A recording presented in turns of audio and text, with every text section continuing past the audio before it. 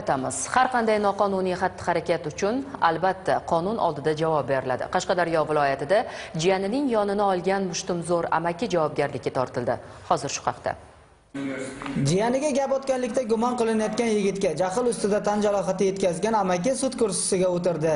Jiyanim gap otib qanaqa qilgani shappa turib sudlanuvchi jabrlanuvchiga bir shapaloq urdim deb turarkan. Davlat ayblovchisi bo'lgan prokuror ish bo'yicha haqiqiy holatni bayon qilib sudlanuvchiga nisbatan uch yil muddatga ozodlikdan mahrum qilish jazosi tayinlanishini so'radi.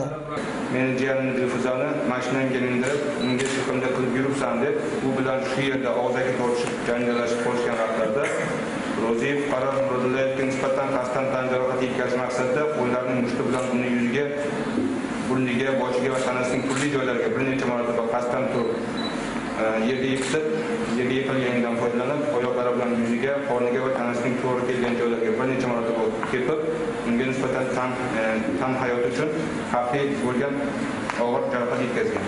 Shunga ko'ra ro'ziyev bobur ergashishni o'zbekiston respublikasi jinoyat kodeksining bir yuz to'rtinchi moddasi.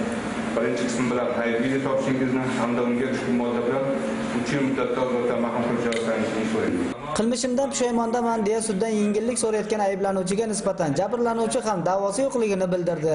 Moddiy ma'naviy zararlanish qoplandimi o'zaro kelishib bir yarashib oldinglarmi ish holatidan kelib chiqib sudya to'plangan hujjatlarga ko'ra o'z hukmini e'lon qildi.